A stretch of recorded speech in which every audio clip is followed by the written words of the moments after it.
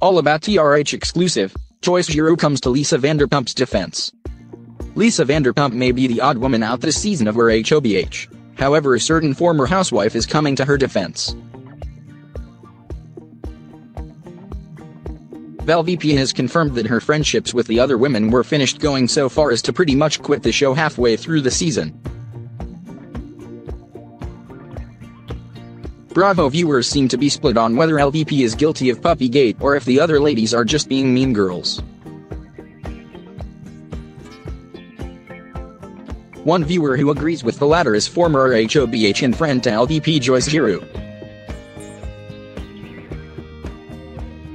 Joyce and LVP have befriended since appearing on the hit reality show together, supporting each other at promotional events despite Joyce no longer being on the show. Joyce was at LVP's side for the opening of Pump and Lisa has been a judge at Joyce's beauty pageants with both of them saying kind words about each other to the press. All About TRH reached out to the Puerto Rican beauty to get her thoughts on this season and naturally she had some choice words to say about the way her friend was being treated. When asked about this season, Joyce responded saying Lisa is a great friend. She's loving, caring, honest and we always have a good time together.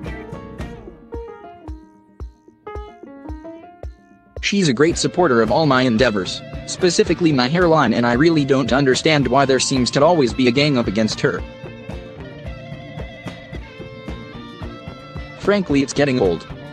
In my humble opinion she is the absolute queen of the franchise so that might cause jealousy with other If LVP were to return to the show next season I feel she would need a friend, as it's never fun to see 5 against 1. Perhaps she could bring Joyce back? I always thought Joyce seemed like a genuinely kind and an overall happy person, something we need more of on these shows.